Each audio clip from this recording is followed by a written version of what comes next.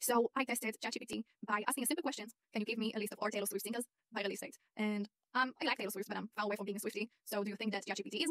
So it gave me a list and I decided that I want to check everything that he gave me in different sources. So I went to Wikipedia and checked different singles and see if the information he gave me is actually true. The problem is that Wikipedia is also not the most reliable sources because it's made by other people and everybody can change it and I don't know if someone actually fact checking it. So I thought maybe a better source would be Taylor Swift wiki page. Um, it's made by your friends, and let's face it, I'm pretty sure they they know all of this stuff. If you're a big fan, you know this information. So I'm double checking, and as you can see, I actually found a mistake, which for me it's a little bit concerning because this is a simple question, but if I'm using it for business, for my work, for, for school, for anything that I need an actual real information, real data, this is a problem for me. So always double check everything that you get from any AI tool, actually, not just ChatGPT, because by the end of the day, you're using it and you you want to be professional, you want to be accurate, you you actually want to succeed. And by using false information, it's can only hurt you. So the lesson here is always double check. Don't rely only the information that ChatGPT gives you. And remember, as life changing as AI tools, ChatGPT is for our life.